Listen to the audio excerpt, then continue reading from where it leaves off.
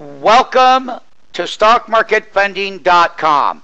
We are here today to bring you the 10 year bear market history that started in 2000 and basically started right over here, and we're in the 10 year anniversary coming up.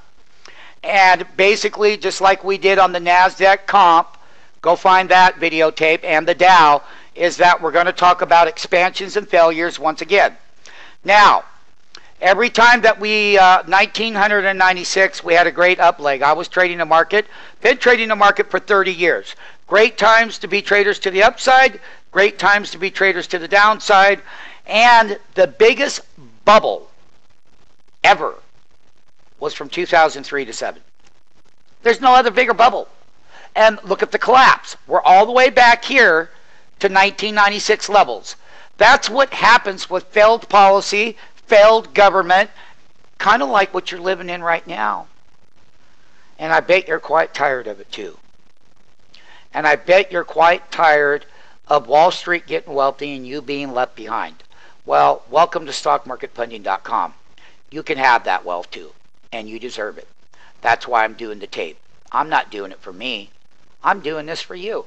And I'm doing it so that either one of two things is that you can be proactive, take accountability and responsibility, join our stockmarketfunding.com network. We have a 52 week pro trading school, we've got risk management school, we've got all kinds of various different things that will help you. We have an economic school, we have a stock fundamental school, we have, of course, our trading school, we have our all kinds of things that make the world go round.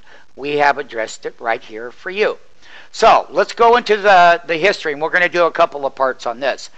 When we have these great expansions, uh, the 96 expansion and the stimuluses that we were working uh, here all failed miserably. And they came right here. They came all the way back down. I'm just going to show you why they fell.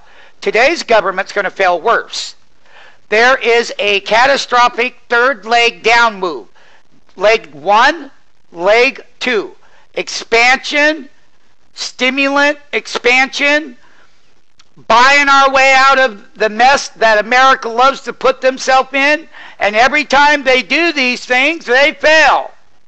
And guess what? From 1997 to uh, uh, look at, we came all the way back down here. So all the manipulation here failed, and all the manipulation here failed. And basically, this is going to be that's leg one. That's the second expansion. This is your third expansion. But we're going to talk about the S&P 10-year bear market history that off of that 96 expansion, that's where your bear started and your bear went back into play. We've had two major catastrophic events. The tech bubble, housing bubble, and the financial system bubble. And that's where uh, StockMarketFunding.com, Mario Marciano, 30 year veteran, called a six year topping pattern in the uh, financials, which I did. I also called a 75 year topping pattern in the New York Stock Exchange, meaning that the NYSE and the history of the NYSE has been around longer than all of these other indexes. And that's where most of your program trading and a lot of your wealth investing goes on. I'm not saying that markets aren't doom and gloom. I'm saying economic policies and manipulation, they fail, and that's why we end up here. At the time that these exuberant moves are in play, you trade them and you invest to the high side. Problem is, once all the money's up here, guess what? They're all in. and I know every gimmick there ever was played. I have lived my life and breathed and lived my life to be able to decipher the failure of gimmicks. And we are in another big gimmick that happened in this yearly move right here on the S&P. And just like off the 1929 crash and into the 30s, we've had similar moves. This economic picture today you can fill your wallet. You know where you're at living in the world. However, you don't have to have experience at all. You just come to stockmarketfunding.com. We help guide you in and guide you out. And we teach you everything you need to know. I'm telling you that right now, I'm not going into all the technical indicators with you here. We will do other series that you can be involved in that will explain it a lot more. So don't be concrete or rigid thinking, other than what you're being pointed out today, or America is that they fail in what they do. This time, they siphoned America out of their home equity. There are probably much, not probably, less people that own homes today than any period within this cycle. And it's very unfortunate that the American public get up, try to go to work, do the best they can, but they get caught in these exuberances, irrational exuberance. And irrational exuberance and buying your way out of economic disaster and buying your way out of recessions does not have any meaningful sustainability because if they did, we would have never been back over here. We had a double bear top market.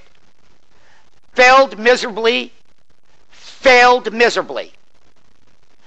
That expansion was putting all the stimuluses off the last recession, off of the 2000. We hit the bottom of 2002. They came in, they pumped it. They got Greenspan got money rates down overnight at the lowest level since the 1940s.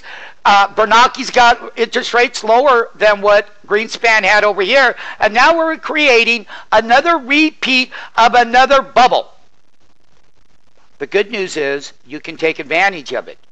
Here, you can. And we are going to fail again when we get done with this move off of March of 09. And it's an election year. The stakes are higher than any other time. Democrats want to get elected. Republicans have got their view. Guess what, people? We're going to see more manipulation probably than any other time in history. We've got the healthcare summit coming. We've got all of that. We've got the biggest deficit ever ever. And it's climbing higher and higher. And guess what?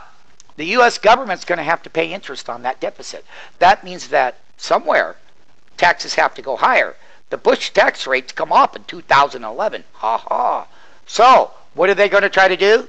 Well, get you to spend your money now. Get you to fuel into the exuberance. I'm going to go into part two, and I'll be right back. Follow up in part two.